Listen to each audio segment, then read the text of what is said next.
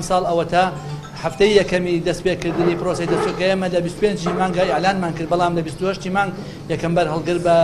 ئامادەبوونی جەنابی وەزیر لێرە وەرگیرا ئەمڕۆ نۆی شەشی 2022 بە ئامادەبوونی جەنابی ابتیهالخان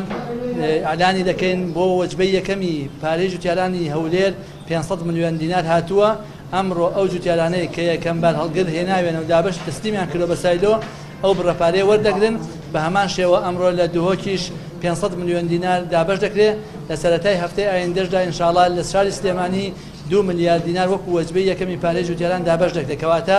کۆی ئەو پارەی بۆ وەجبەی یەکەمی پارەی جوتیارانی ئەمساڵ دابەش دەکرێت بریتییە لە سێ ملیار دینار، لە هەمان کاتدا بڕی چوار ملیار دیناری کەش.